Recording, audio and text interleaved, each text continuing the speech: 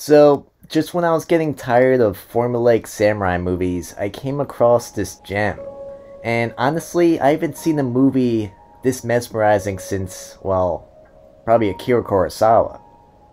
For once, instead of checking to see how much time I had left every second, I was actually lost in the movie. I forgot I was watching something, and instead, I was in this beautiful country and time period. I haven't felt that in a very long time.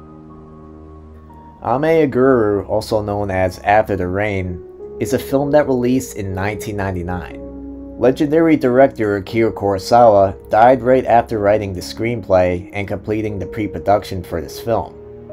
His producer's son offered the direction to his father's longtime assistant Takashi Koizumi.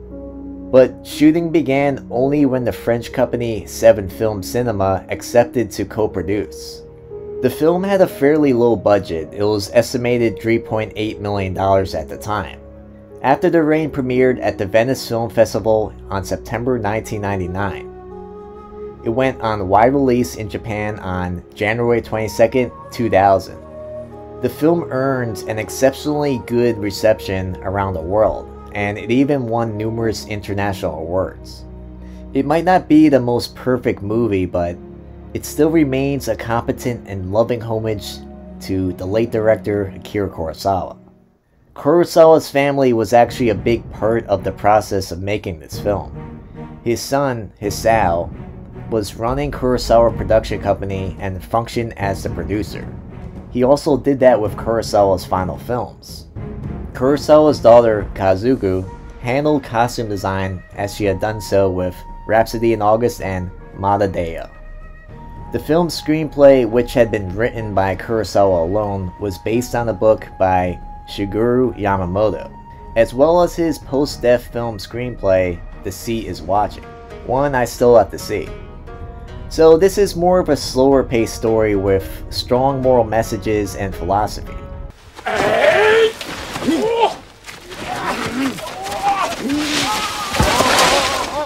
Oh yeah, and it has a real kenjutsu. Oh! This is by no means an action-packed samurai film, and I went in knowing this.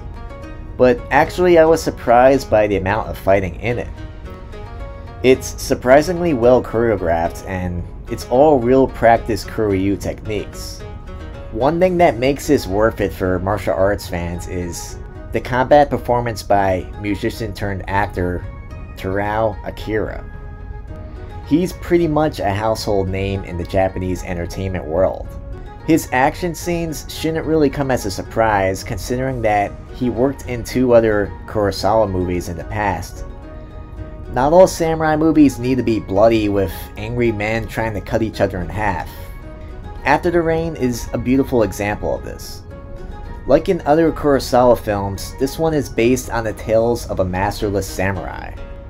But this one has a very different personality than the Ronin movies that we're used to. It has a very original motivation on when it's necessary to fight.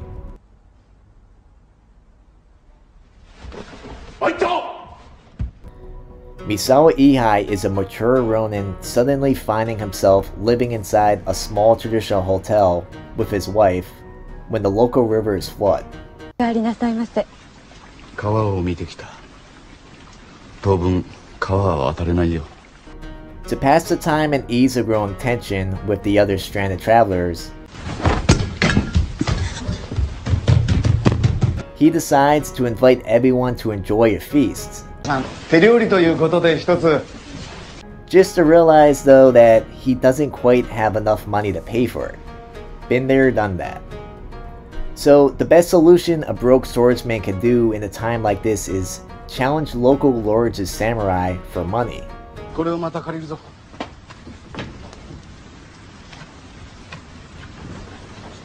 Ihei's fighting skills impress Lord Shigeaki, played by Toshiro Mifune's son, Shiro Mifune. When you see the name Mifune, you really know it's a Kurosawa film. He then offers him a position as fencing master in his court.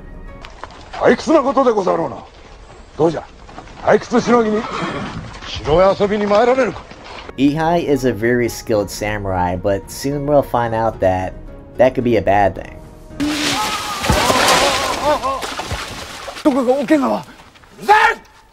The real story here is in the people. This is basically a window into the Japanese culture for outsiders, and it's a window to Japanese historical culture for the Japanese. After the Rain is an entertaining human drama with a slow pace and extremely beautiful visuals. The visuals in this film make it look like it's very much a Kurosawa film, and it has that same kind of hard to describe feeling. I found myself constantly pausing it just to take in the nature scenes just a little bit longer. It kind of made me bummed that I'm not currently living in such a beautiful place. I'll definitely be rewatching this movie every year just to get a healthy dose of those beautiful visuals. Hopefully we get a Criterion Blu-ray release. Another great element of this film is Ihei's kind persona. Rather than the typical Ronin that's looking for trouble, he's kind towards everyone around him, and he tries to keep the peace and everyone out of trouble. He's the true embodiment of Budo, a real martial artist's mindset. He keeps his composure while in trouble. He's confident yet not pretentious, and he only fights as a last resort.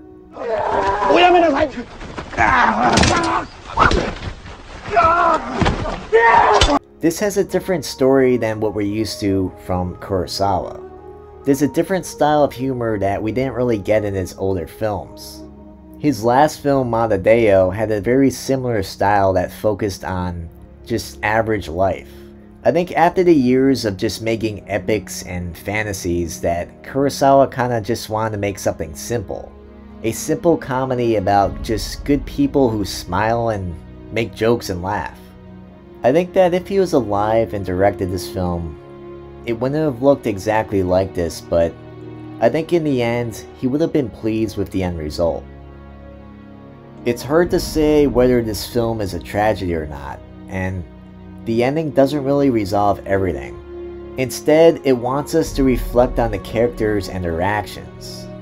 It's definitely a film that you're gonna think about days or even weeks after it's over. I feel like this is a film that I'm never gonna forget, and that's a great thing for a movie to achieve. After the Rain is both a beautiful and deep samurai film, and it lets the spirit of Kurosawa live on, even after he left us.